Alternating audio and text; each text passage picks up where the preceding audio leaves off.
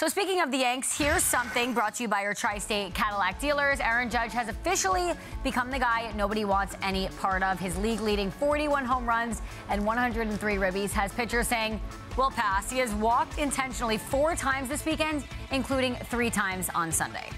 So, guys, you could tell when this is happening. Judge, the the dugout, they're all just annoyed at the fact that let the guy hit.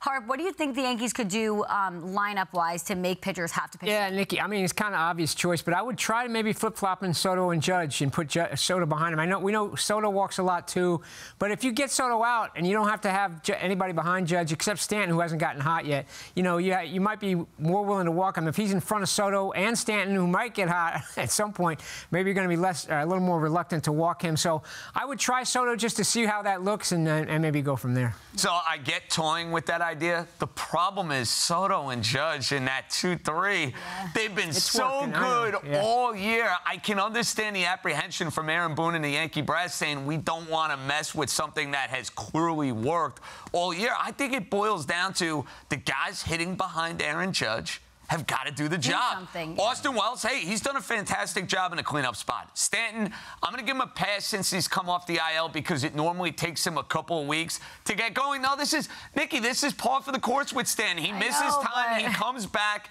and his swing is just so weird and quirky and different that it takes him some time to get going. But you need those guys behind Aaron Judge to say, okay. Stan's the only one that scares pitchers. No, I understand that. Yeah. I understand that. Gotta but then when you flip flop those two, do you have the same dynamic? That's my only fear. Yeah. So to me, I'm looking at those other guys and saying, all right, time to step up. Yeah, I don't look at it's a good idea. Like I, I like the thought behind flip-flopping the two, but these are the two best hitters in baseball right now. I don't want to do anything that could take them out of their routine, out of their rhythm. What's gotten them to this point uh, so far this season? I would just keep things the same. Austin Wells, since a four for 34 start it was, I believe, he's the best offensive catcher in baseball, and he's been doing the job behind Aaron Judge lately in the lineup. Until that changes, I don't want to mess with what's going right. The Yankees have started to catch some fire, and I think two keys you look out for deepening the lineup Verdugo, Volpe. When the Yankees have gone well this year, those two have hit.